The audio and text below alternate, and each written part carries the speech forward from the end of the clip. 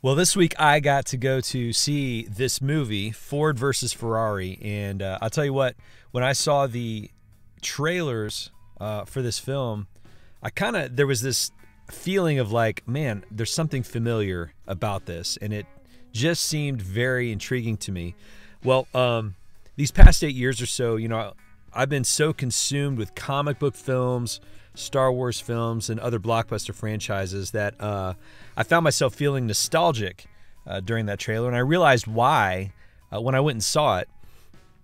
So, Ford versus Ferrari, let me just tell you, this is a great family movie that recounts a period in uh, car manufacturing history where good old fashioned business competition ends up creating some incredible ingenuity, uh, and specifically for the car making industry. Um, here's some uh, quick uh, bullet point review items. Um, this thing, this movie has a great story about friendship. I love the friendship between the uh, main two characters, Carroll Shelby, uh, portrayed by uh, Matt Damon, and Ken Miles, portrayed by Christian Bale. They both did fantastic. They were both great in the roles. Um, I love seeing that friendship develop. Uh, great story on the importance of family through the portrayal um, of Ken, and uh, the father-son bonding was was a huge plus. Uh, there's also a uh, a great scene in this film uh, that I just found.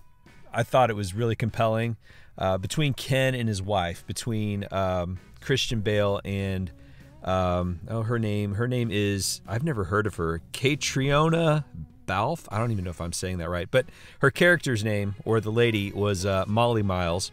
So uh, I love this uh, the dynamic between their uh, between them.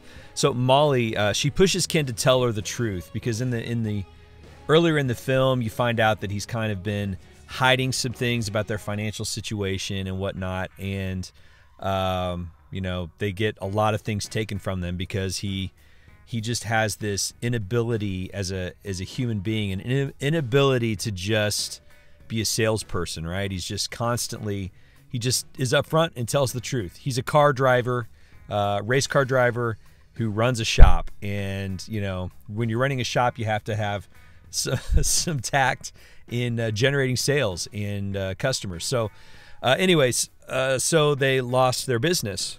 Um, and he was hiding their financial situation. So there's a point in the film where you know she she has lost a lot of trust in him uh, regarding that situation. Well, at the at the time that Ken is is negotiating and talking with um, Matt Damon's character, uh, she sees it and but he's not being upfront with her. And so she challenges him. And as husbands, sometimes we make these decisions to hide things from our wives uh, to protect them, when in reality, uh, this only causes some incredible tension that isn't necessary. So when he finally tells her it's crazy, but they stay together. And uh, it goes against the grain that you see a lot of times in in movies these days. I, I you know, just one of the things I I miss from from movies and films is this uh, this dynamic of between a husband and wife where they actually stay together. You know, they actually work through their problems, their trials, and uh, and they actually come out better on the other end of it,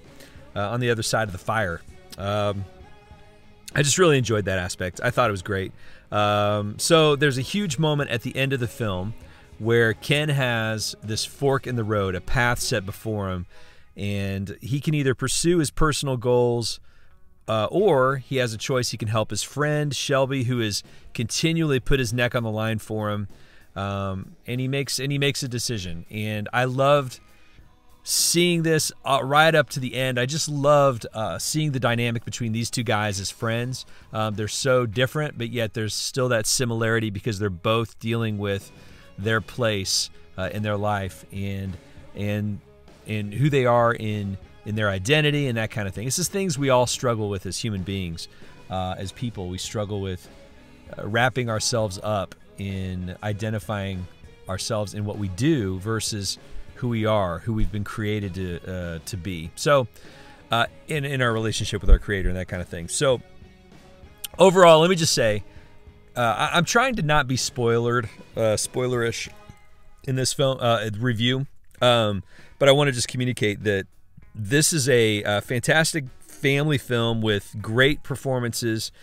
Uh, the races were so good visually. Um, it's amazing what they can do with technology these these days, uh, bringing various angles to the race. That man, it just looked so good on screen.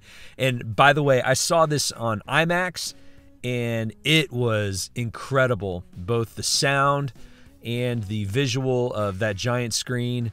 Uh, I mean, you felt the engines rumbling. It was so good. Uh, so I encourage you guys check it out. You know, uh, I think I mentioned on Twitter, I, I just made a statement. I said, Husbands, take your wives, um, and uh, fathers, take your kids. Dads of sons, take your sons. There's a great dynamic between him and his son. Uh, Ken and his son is so good. Just a really good feeling movie. So go see it. And uh, if you go see it and you want to comment on it, I'd love to see your comments. But trying to be very, like I said, trying to be spoiler free as much as I can uh, while just letting you know that I really love this film. I think it's great. And I think Hollywood needs to make more of this stuff.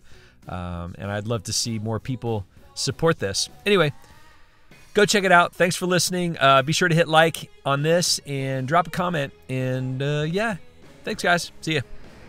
Hey, thanks so much for watching this video. If you enjoyed it, please take a moment and give it a thumbs up and maybe consider following the Kansas Geek Man channel. You can also find me on Instagram and Twitter over at KS Geekman.